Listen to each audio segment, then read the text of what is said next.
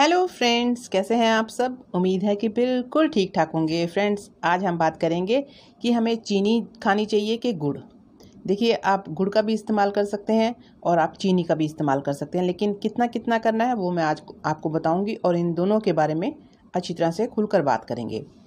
तो फ्रेंड्स, ऐसा है कि कहा जाता है ना कि चीनी सेहत के लिए बिल्कुल भी फ़ायदेमंद नहीं है। इसे खाने से हमारे शरीर को कई नुकसान झेलने पड़ते हैं। तो फिर इंसान क्या करे? फिर हमारे दिमाग में आता है दूसरा ऑप्शन गुड़।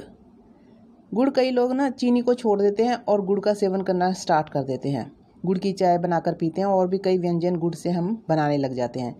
लेकिन क्या सच में गुड़ को चीनी मतलब कि गुड़ चीनी को टक्कर दे सकता है?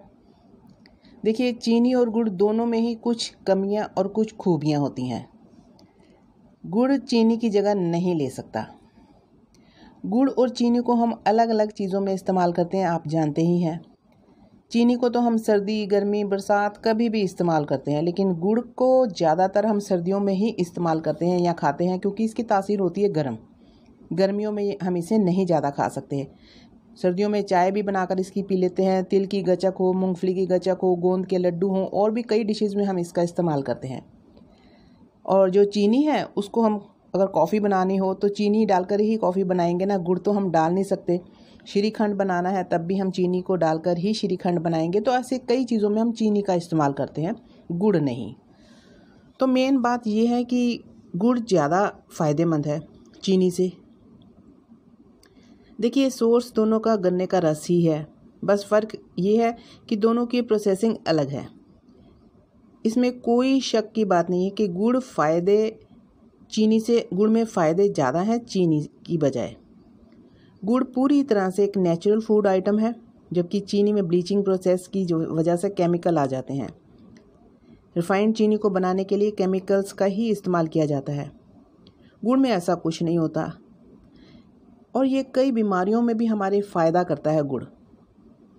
देखिए अनीमिया के जो पेशेंट होते हैं ना, जिसमें खून की कमी होती है जिनमें उनके लिए ये गुड़ बहुत फ़ायदेमंद होता है, क्योंकि इसमें आयरन भरपूर मात्रा में होता है फ्रेंड्स और भी कई इसमें पोषक तत्व होते हैं, जैसे पोटेशियम हो गया मैग्नीशियम हो गया कैल्शियम होगा हो गया जिंक हो गया, और भी कई इसमें पोषक तत्व हैं.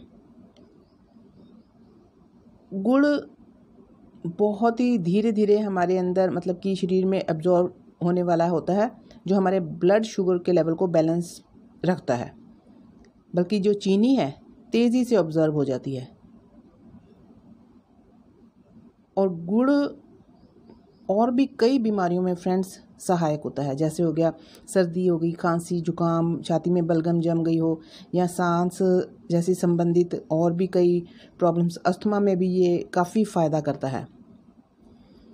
फ्रेंड्स मैं तो यही कहूँगी कि अगर आप गुड़ खा रहे हैं तो नो डाउट कोई प्रॉब्लम नहीं है, फ़ायदे ही फ़ायदे हैं, लेकिन चीनी अगर आप खा रहे हैं तो बहुत कम खाइए। नाम मात्र खाइए, ज़्यादा मत खाइए। वैसे भी हमें चीनी का सेवन कम ही करना चाहिए। खाना खाने के बाद हम अगर छोटा सा टुकड़ा गुड़ का खा लेते हैं ना तो एक्स्ट्रा टॉक्सिन्स जो बाहर निकलने और भोजन को पचाने में मदद करता है बहुत। चीनी और गुड़ दोनों ही शरीर में कैलोरी को बढ़ाते हैं नो डाउट लेकिन अगर हम दोनों में से किसी एक को चुने ना तो फ्रेंड्स हम गुड़ को ही चुनना पसंद करेंगे। क्योंकि इसके फ़ायदे बहुत हैं। तो मैं एक बात और बता दूँ डायबिटीज़ के जो मतलब जिन्हें शुगर है डायबिटीज़ है, वो मीठा तो बिल्कुल भी ना खाएँ। अब उनको ये होगा कि भी चीनी खाएँ, ना खाएँ तो गुड़ खा लें। तो दोनों में ही शुगर होती है। हाँ ये है कि इंसान का दिल कर जाता है कई बार मीठा खाने का। तो चीनी की बजाय अगर छोटा सा टुकड़ा कई बार मन कर जाता है तो गुड़ खा सकता है इंसान। लेकिन चीनी नहीं। तो शुगर के पेशेंट इन दोनों को ही अवॉइड करें। दोनों ही, दोनों में ही मीठा काफ़ी होता है। तो मेरे हिसाब से मैं आपको बता दूँ कि जो गुड़ है, वो ज़्यादा फ़ायदेमंद है चीनी से। तो गुड़ का सेवन आप आराम से कर सकते हैं। इसके व्यंजन बनाकर खा सकते हैं।